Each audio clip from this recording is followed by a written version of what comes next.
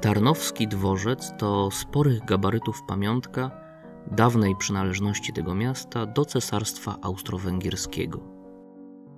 Był ważnym punktem na trasie cesarsko-królewskiej kolei państwowej prowadzącej z Wiednia do Lwowa. Niezwykle podobny architektonicznie dworzec stanął parę lat wcześniej w galicyjskim niegdyś Stanisławowie, a dzisiejszym Iwano-Frankiwsku. Zaprojektowany był przez tego samego wiedeńskiego architekta Ernesta Baudisza. W bryle Tarnowskiego dworca można zatem odnaleźć wiele wątków typowych dla architektury miast austro-węgierskich. Między innymi charakterystyczną dla Wiednia, Lwowa albo Budapesztu secesyjną dekorację. W również austriackim żywcu, w centralnym oknie tamtejszej stacji kolejowej, widać wielką literę H. Miała ona nawiązywać do panującej wówczas dynastii Habsburgów. Podobny kształt możemy zauważyć nad tutejszym wejściem głównym. Tarnowski dworzec ma też w swojej historii czarne karty. Cztery dni przed wybuchem II wojny światowej współpracujący z Niemcami Antoni Guzy dokonał zamachu bombowego. Wybuch zabił 20 osób, a sam dworzec został poważnie zniszczony.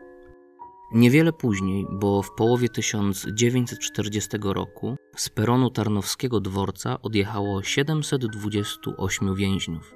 Mieli być pierwszymi osobami osadzonymi w obozie KL Auschwitz. Pierwotnie dworce, takie jak ten Tarnowski, kojarzyły się z nowoczesnością i pędem niespotykanych dotąd lokomotyw. Były miejscami tłumnymi i posiadającymi nierzadko wykwintne restauracje. W Lwowie restauracja pierwszej klasy urządzona była w stylu zakopiańskim.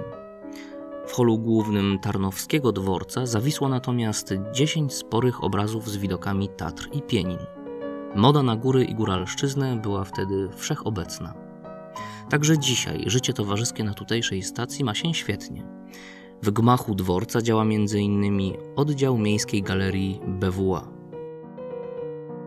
Piękny i dystyngowany, widoczny jest przede wszystkim dla tych, którzy przybywają do Tarnowa koleją. Dla podróżujących samochodem jest niestety skryty za plantami Józefa Jakubowskiego. Przetrwał ponad stulecie burzliwych wydarzeń historycznych, dwie wojny światowe i zamach bombowy, a mimo to wygląda równie dostojnie jak w czasach, gdy go budowano. Z jego peronów można wciąż śmiało wskakiwać do pociągów choćby do tego o 12.35. Bezpośredniego i zgodnie ze starą galicyjską tradycją jadącego przez Kraków do samego Wiednia.